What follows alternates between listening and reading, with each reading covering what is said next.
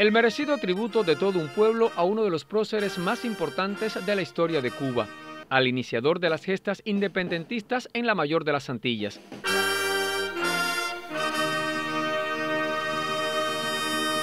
A 205 años del natalicio de Carlos Manuel de Céspedes, una representación de granmenses evocó la impronta del patricio Bayamés en acto político-cultural que tuvo lugar frente a la casa natal ubicada en los alrededores de la histórica Plaza de la Revolución de Bayamo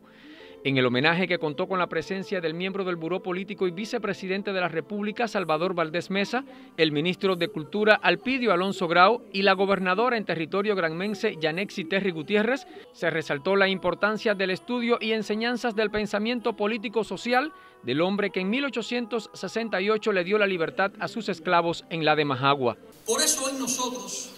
los revolucionarios de esta generación, nuestro pueblo revolucionario puede sentir esa íntima y profunda satisfacción de estarles rindiendo a Céspedes, a los luchadores por nuestra independencia, el único tributo, el más honesto, el más sincero, el más profundo,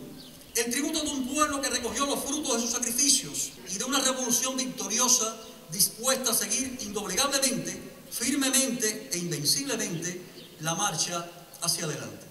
Posterior a la velada cultural, el vicepresidente cubano iluminó el retrato que reproduce con mayor exactitud la imagen del padre fundador de la nación cubana y que preside la sala de la casa natal.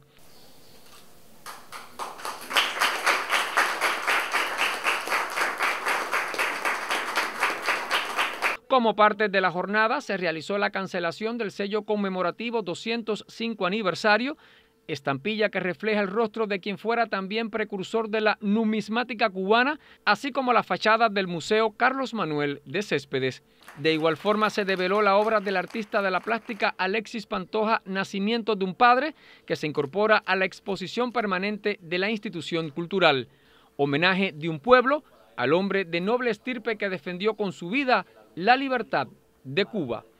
Jorge Luis Ríos, Sistema Informativo de la Televisión en Granma.